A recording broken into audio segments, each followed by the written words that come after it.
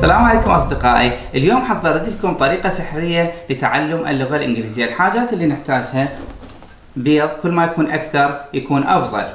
راح نحتاج إلى كاتشب أيضا، نحتاج إلى إناء نخلط به وأداة نخلط بها. راح نحتاج إلى مربى، أي نوع مربى يمشي. زيت زيتون وراح نحتاج إلى مجموعة كتب، كل ما تكون الكتب أكبر يكون أفضل. كتب للقواعد الغير قواعد كتب لتعلم اللغة الإنجليزية. حضر مجموعة كتب بيض كاتشب وأداة ومربى وزيت زيتون وكوب قهوة. وأهم من هذا حتى تقوي ذاكرتك جيب ذاكرة مال تليفون أو مال داتا تقدر تستخدمها حتى تقوي ذاكرتك. بعد ما تجمع هذني كلهن تروح ترجع كل حاجة لمكانها لأن كل هذا ما راح يفيدك بأي شيء. اللي يفيدك هو اللي راح يجي بهذه الحلقة بعد لحظات. كمل هذه الحلقة للأخير حتى تتعلم أهم خمس طرق لتعلم اللغة الإنجليزية بطريقة صحيحة. الآن خلي نرجع كل شيء لمكانه وناخذ كوب القهوة ونروح نشرب قهوة نباوع أنا وياكم ونشوف أنا وياكم هذه الحلقة كاملة خمس طرق لتعلم اللغة الإنجليزية. لا تنسون ترجعون غراض المكان هنا مع السلامة.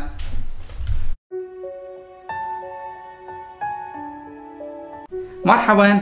تواجه صعوبة في تعلم اللغة الإنجليزية؟ عندك معاناة في الكتابة الإنجليزية أو الفهم أو تكوين الجمل وكتابة النصوص؟ إذا كانت هذه المشكلة عندك اليوم راح نحلها سويا في دقائق. هناك فرق أساسي يجب أن تعرف به وألا وهو أن هناك فرق بين أن تصبح معلم أو مدرس لغة الإنجليزية وبين أن تصبح متحدث وممارس لهذه اللغة الجميلة. إذا إذا كنت تريد أن تصبح معلم أو مدرس للغة الإنجليزية هذا الفيديو ما ينفعك. بإمكانك التوجه مباشرة إلى المؤسسات الأكاديمية مثل الجامعات والمعاهد حتى تتعلم أن تصبح تدريسي في هذه اللغة.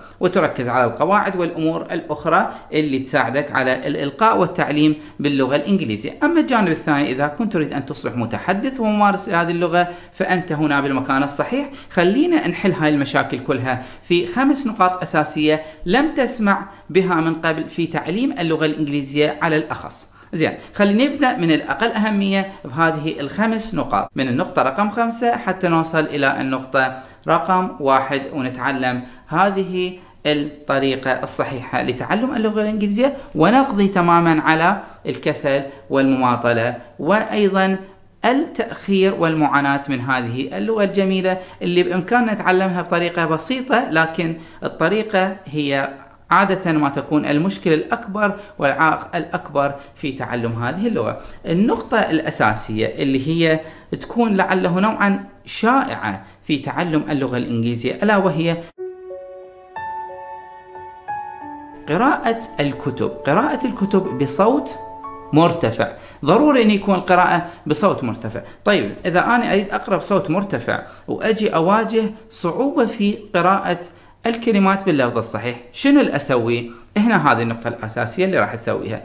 هي أنه تحاول تستعين بمكان معين بطرف معين بمكان بحيث أنه تستمع بنفس الوقت تتبع بالنص الموجود. هذا الشيء موجود في قناة سفيرس أكاديمي عندنا كورس تعليم اللغة الإنجليزية من خلال القصص. هذا الكورس بإمكانك أنه تتبع القصة ونفس الوقت تستمع إلى اللفظ الصحيح وبهذه الطريقة بعد مدة قصيرة اللي هي حسب وقتك طبعا بعد مدة قصيرة إذا تتابع عدة حلقات عندنا حوالي لحد الآن 25 حلقة وكل يوم راح ننزل حلقة جديدة بهذا الكورس. إذا تابعت هذا الكورس وتبعت مع كل القصص الموجودة راح تتكون عندك ملكة القراءة.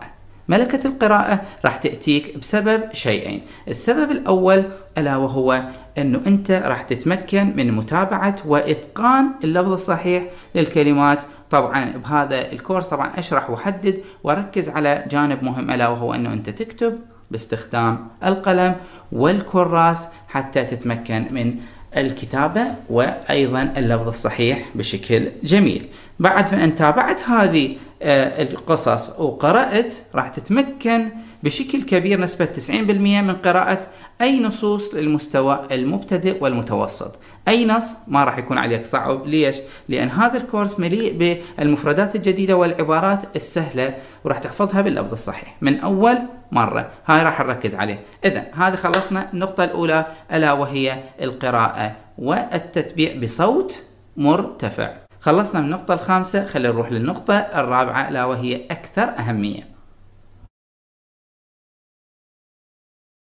ألا وهي الاستمرارية، الاستمرار في العمل شيء أساسي لنجاح أي عمل بهذا الحياة، وبالأخص بتعلم اللغات، نحتاج إلى الاستمرارية اليومية، وهاي الاستمرارية راح تلقاها في قناة سفيرس أكاديمي في كورس ألف كلمة إنجليزية في دقيقتين، بهذا الكورس راح أشرح لكم عن اهم الكلمات الشائعة باللغة الإنجليزية، ناخذ على كل كلمة من هذه الكلمات أمثلة ونأخذ أيضا أهم المرادفات وكل حلقة مصممة أن نأخذها في دقيقتين فقط. يعني حتى لو ما عندك وقت باليوم بإمكانك فقط الدخول على قناة سفيرس أكاديمي على الكورسات playlist وتدخل على كورس ألف كلمة إنجليزية في دقيقتين. كل يوم تستمع إلى حلقة وتحفظ هذه الكلمة طبعا بالأمثلة.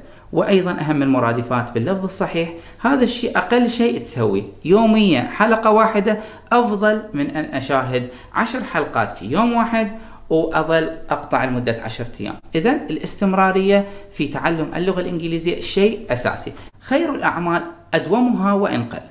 إذا هذا المسألة لازم تخليها ببالك، يجب أن تكون دائما مواظب مستمر في تعلم اللغة الإنجليزية حتى ما تفوتك الحلقات السابقة والحلقات القادمة اليومية راح ننشر حلقة جديدة بإمكانك الآن الضغط على إعجاب لهذا الفيديو وأيضا اشترك في القناة وفعل زر الجرس حتى تأتيك جميع الدروس السابقة والقادمة واستمر دائما. خلينا ننتقل للنقطة اللي بعدها اللي هي أكثر أهمية النقطة الثالثة.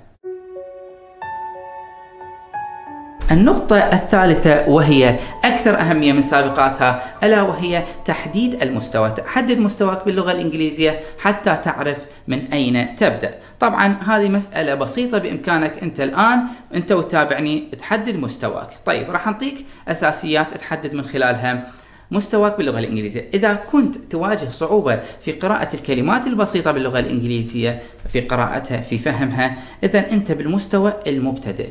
إذا كنت تفهم وتستطيع قراءة جمل كاملة سطر كامل سطرين ثلاثة نص صفحة صفحة صفحتين إلى أكثر قراءتها مع بعض الصعوبات. يعني الصفحة ممكن أنت عندك 10 إلى 15 كلمة ما تفهمها. إذا أنت بالمستوى المتوسط.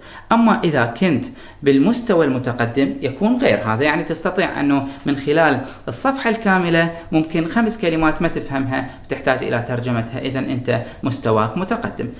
نراجع هين مستوى مبتدئ عندك صعوبة بالكلمات مستوى متوسط عندك صعوبة في الكلمات. وخلال الصفحة الواحدة تقرأها بكتاب ممكن أن بين 10 إلى 15 كلمة أو أكثر بقليل أنه أنت ما تفهمهن إذا أنت بالمستوى المتوسط أما المستوى المتقدم غير ذلك. اللي أعلى من هذا يعني يفهم كثير من الأمور يستطيع المحادثة لكن يواجه صعوبة في بعض الجوانب تكون مستواك متقدم. إذا هذه النقطة ألا وهي تحديد المستوى. الآن حددنا مستوانا باللغة الإنجليزية. ما هي النقطتين الأساسيتين والأكثر أهمية يجب أن تركز عليهم جيدا من الآن؟ هذه النقطتين هي مفصلية في تعلم اللغة الإنجليزية. إذا ما اعتمدت عليهن ما راح تتمكن نهائيا من تعلم اللغة الإنجليزية. خليك وياي خل نروح للنقطة الرابعة. أما الآن خلونا نروح للنقطة الرابعة اللي هي مهمة جدا قبل النقطة الخامسة. ألا وهي تحديد هدف. لماذا تريد تعلم اللغة الإنجليزية؟ ولا أحد يعرف الإجابة غيرك أنت. إذا لماذا تريد تعلم اللغة الإنجليزية؟ فكر. هل للدراسة؟ هل للعمل؟ هل للهوايات؟ هل للتواصل مع الأصدقاء؟ هل للتعرف على ناس من دول أخرى؟ أم أمور أخرى؟ حدد هدفك إذا حددت هدفك على هذا الأساس راح نبني قاعدة ألا وهي أنه أنت تحيط نفسك بالجو اللي يناسبك الشيء اللي أنت تحبه الشيء اللي تحبه لازم تحدد هدف على أساسه مثلا أنا أحب كرة القدم راح أحاول أحفظ المصطلحات اللي تخص كرة القدم لأن شيء أنا أحبه إذا كنت أحب التدريس إذا أبحث عن المصطلحات التدريسية اللي تعيني على استخدام هذه اللغة. لا تنسى إذا شيء أنت حابة راح تقدر على أساسه تحدد هدفك. إذا ركز على تحديد هدف من تعلم اللغة الإنجليزية وحيط نفسك بهذا الهدف حتى تتعلم أكثر. إذا كنت تحب مثلا الأفلام الوثائقية أو الأفلام الأجنبية أو الأغاني أو الأمور الأخرى بإمكانك متابعة هذه الأشياء اللي ترغب بها باللغة الإنجليزية. غير لغة هاتفك على جانب النقطة الرابعة ألا وهي تحديد الهدف. حدد هدفك شيء أساسي. خلينا الآن ننتقل إلى النقطة الخامسة والأكثر أهمية من كل هذه النقاط اللي مرت علينا. إذا ما تسوي النقطة الخامسة فكل النقاط السابقة راح يكون ما لهن معنى لهذا السبب خليك وياي بالنقطة الخامسة. أما الآن مع النقطة الخامسة ألا وهي أنه الشعور وقود الإنسان، الإنسان من يشعر بشيء راح يتحرك، من يتحرك راح يندفع بطاقة قوية جدا، يجب أن تمتلك النقطة الخامسة ألا وهي الرغبة المشتعلة في تحقيق الهدف.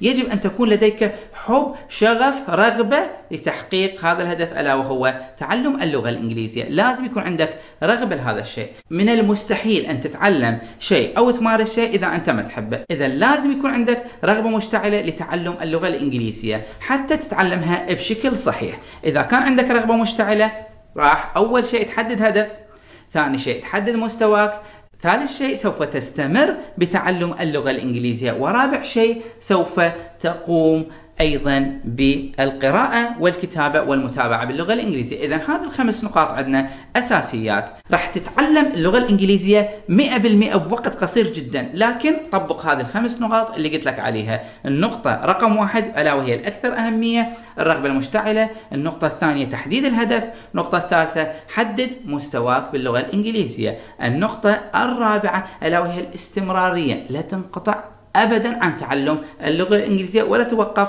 عن تحقيق هدفك ابدا. النقطة الخامسة والأخيرة وهي مهمة جدا أيضا ألا وهي القراءة والمتابعة، وكل هذه الأمور تلقاها في قناة سفيرس أكاديمي بشكل تفصيلي في الكورسات الموجودة عندنا، بإمكانك متابعتها والحفظ بطريقة الحفظ بالجمل. لا تنسى هذه النقطة لأن إذا بديت بتعلم القواعد المملة الكثيرة راح تتعب وراح تمل. حدد أيضا مدرس خاص ألا وهي مثلا الدروس الموجودة راح تقدر تدخل لها وتتابعها بالتدريج حتى تحفظ أكبر كمية من المعلومات بطريقة الحفظ بالجمل. لا تضيع وقتك لا تضيع طاقتك بأمور غير مهمة. راح تضيعك. خليك مع قناة سفيرس أكاديمي. لا تنسى الإعجاب والاشتراك وطبق هذه الخمس نقاط وألقاكم غدا في حلقة جديدة إن شاء الله. إلى اللقاء.